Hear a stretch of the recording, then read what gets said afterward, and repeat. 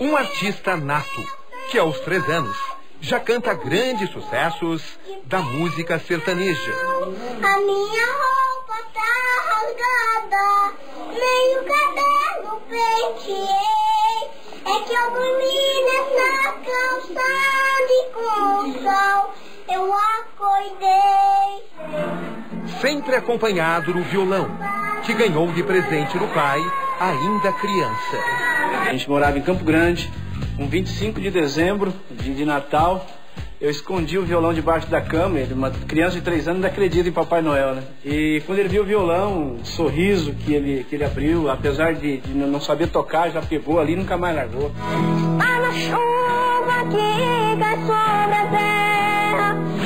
Aqui aos 10, se destaca entre os colegas de classe nas apresentações da escola.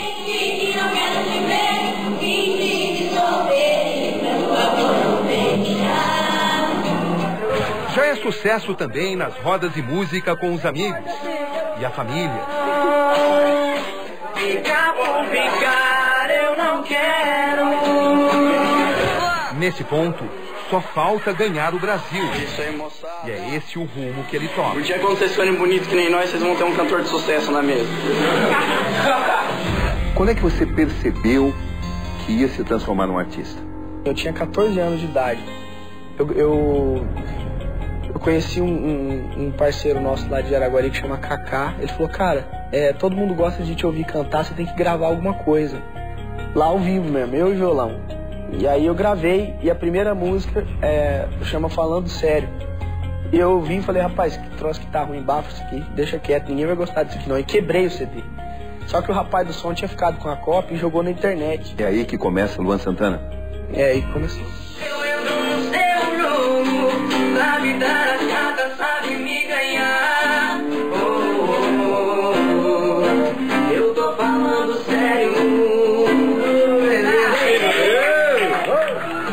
partir daí, a vida do garoto sonhador de classe média começa a mudar.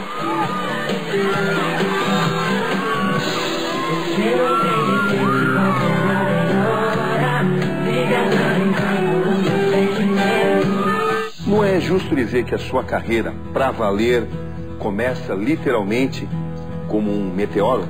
Ficou sério a partir do meteoro? Ficou sério, ficou corrido, ficou. Ficou muito melhor depois do meteoro. Durante quatro meses, seguimos seus passos. Tivemos acesso a turnê por cidades Brasil afora.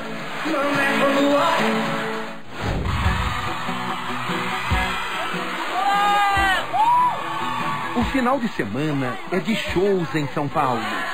E a movimentação das fãs começa.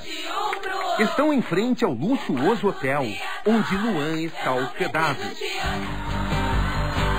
Logo anoitece. E a notícia de que Luan está para sair deixa as fãs agitadas.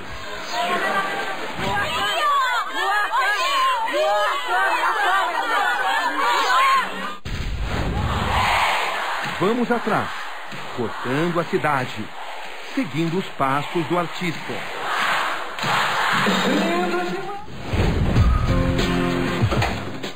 E aí? E aí? Bom? Beleza? Beleza? Tudo bom? Escolheram, hein, rapaz? Aí corre, hein? Enquanto Luan se prepara, grandes nomes da música sertaneja chegam para prestigiar o músico. Uma noite repleta de estrelas.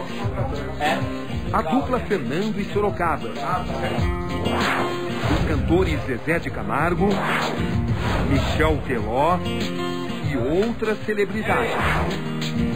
No camarim, os detalhes finais. São duas apresentações para mais de 14 mil pessoas.